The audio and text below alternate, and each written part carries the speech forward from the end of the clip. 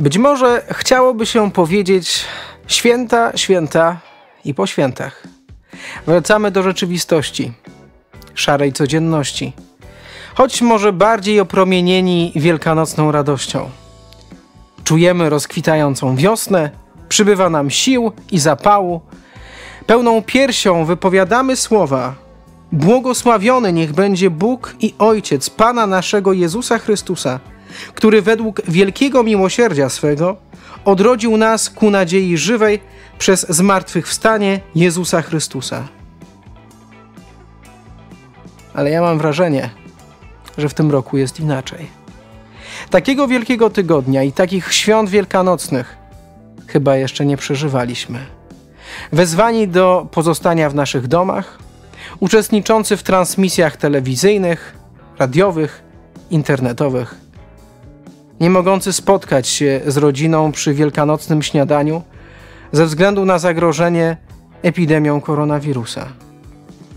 Być może po raz pierwszy w życiu Wielki Piątek nie udaliśmy się do naszych parafialnych kościołów.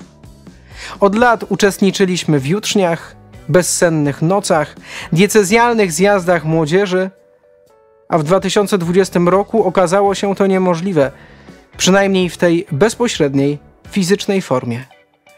Obawiamy się, co przyniosą kolejne dni, tygodnie i miesiące.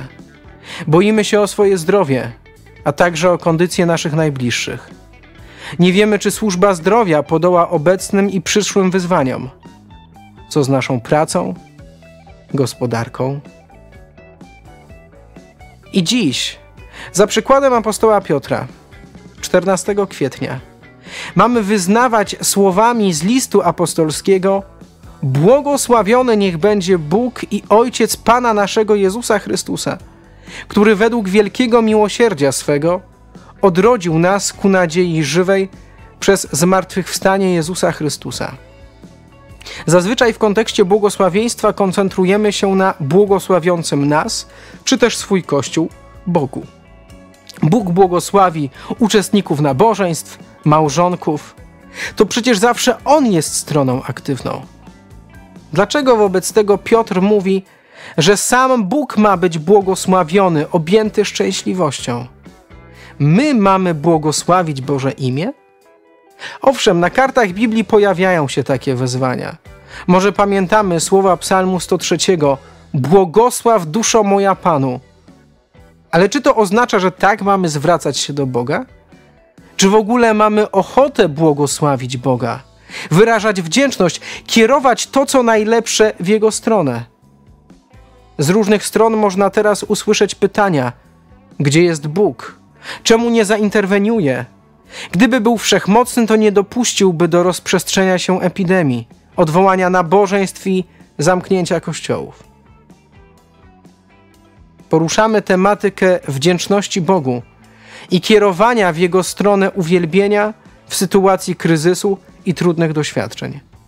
Być może przy okazji świętowania w poprzednich latach łatwiej było nam wyznawać, że Bóg powinien być błogosławiony – że tak wiele powodów do radości, że nas zbawił i dzięki temu możemy być chrześcijanami, możemy dzielić się naszą wiarą i mówić o tym, jak Bóg zmienił nasze życie. Co jednak w sytuacji, gdy życie tak bardzo się skomplikowało, gdy tak wiele trosk, obaw, niepewności? Czy koncentrujemy się na radości ze zbawienia? Czy skupiamy się na tym, że Bóg odrodził nas dzięki temu, co zrobił Jezus Chrystus? Może ulegamy emocjom, strachowi. Może rodzą się myśli, co tam zbawienie, kogo w ogóle obchodzi myślenie o tych kategoriach. Tu i teraz jest źle, a może być jeszcze gorzej. Święta, święta i po świętach. Wracamy do codzienności. Psalmista mówi: Będę błogosławił Pana w każdym czasie. Adresaci listu Piotra mierzyli się z prześladowaniami, zagrożeniem życia. A Piotr w nawiązaniu do tych słów mówi, że należy Bogu oddawać chwałę w tym położeniu. Nie mówi, niech będzie błogosławiony po tym, jak ustaną prześladowania. W tym położeniu. W drugim dzisiejszym fragmencie Bóg zwracając się do Izraelitów, znajdujących się w sytuacji po upadku Jerozolimy, mówi: Bardzo blisko jest moja sprawiedliwość. Moje zbawienie nastaje. Moje ramiona będą sądzić ludy.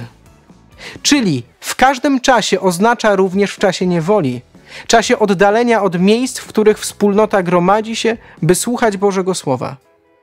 My dziś, mierząc się z epidemią koronawirusa, nie jesteśmy pozostawieni samym sobie.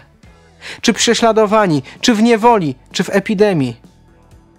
Będę błogosławił w każdym czasie. Siostro i bracie w Chrystusie, czy wyznamy dzisiaj, niech imię Pańskie będzie błogosławione? Czy docenimy dar Jego zbawienia? Czy okażemy Mu wdzięczność? Dobrego, błogosławionego dnia.